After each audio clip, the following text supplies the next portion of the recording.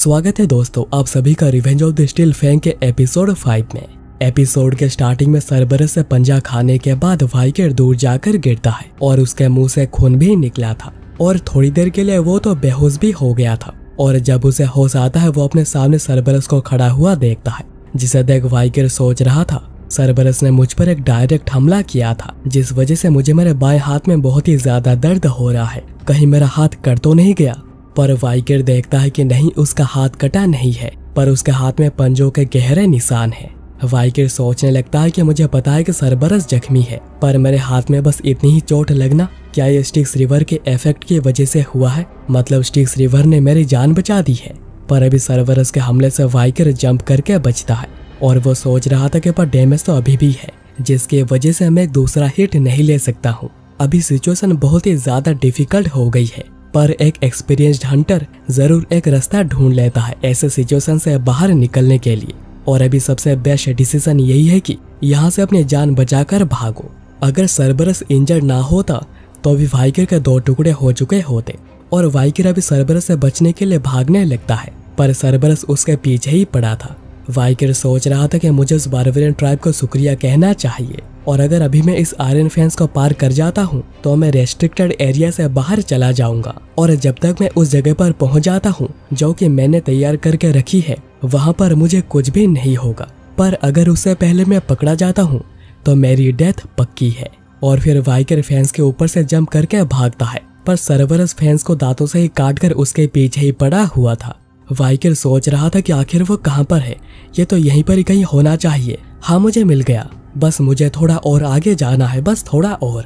और वाइकर किसी तरह जंप वगैरह करके वहाँ पर पहुँच जाता है। और वो बस सरबरस से बाल बाल बचा था। सरबरस उसे बस पकड़ने ही वाला था। तभी वो वाइकर के बनाए हुए गड्ढे में गिर जाता है, जिसके अंदर बहुत से भाले भरे हुए थे, जिसकी वजह से सरबरस को बहुत ही ज़्यादा चोटें आई थी।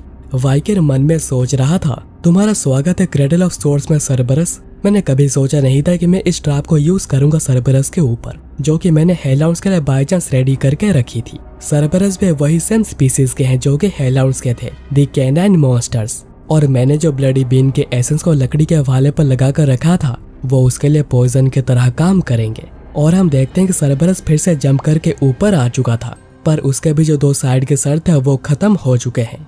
वाइकर कहता है कि क्योंकि तुम एक हाई रैंकिंग मोस्टर हो, मुझे लगा ही था कि तुम इतनी इजीली तो नहीं मरोगे।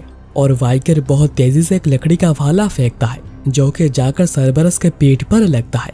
पर इसके बाद भी सरबरस आगे आने लगता है वाइकर पर हमला करने। पर वाइकर वहीं पर ही खड़े रहकर एक से सात तक गिनती करता है, जिसके बाद सरबरस बिल्कुल वाइकर के सामने आकर मरता है।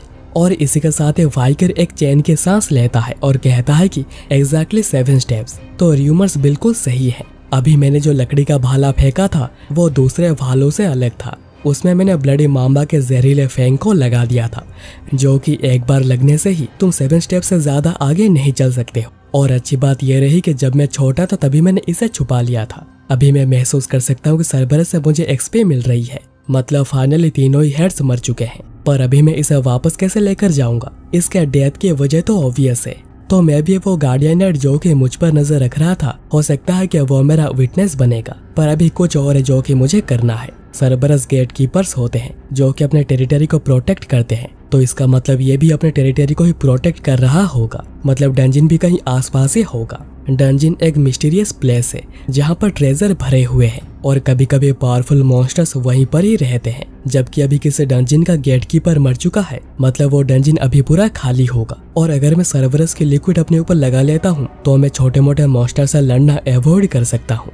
और ये सूखी मिट्टी, सड़े पत्ते, पैरों के निशान और ये लार, इनका यूज़ करके मैं उस डंजिन तक पहुँच सकता हूँ। और फाइनली इनका पीछा करते हुए वाइकर को डंजिन मिल ही जाती है। वाइकर कहता है तो यह वो डंजिन जिसे कि सरबरस प्रोटेक्ट कर रहा था। मुझे याद आ रहा है कि मैं पास्ट लाइफ में यहाँ पर आ चुका हूँ। इसका पता सभी को दस साल के बाद ही जाकर चलेगा। पर तब तो यह पूरा खाली हो चुका होगा। पर अभी के लिए तो बिल्कुल भी नहीं। मैं यहाँ पर माना सेंस कर सकता हूँ, जो कि इस रोटेन सरफेस के नीचे से आ रही है। और मैं पूरा श्योर हूँ कि इसे अभी तक क्लियर किया नहीं गया है।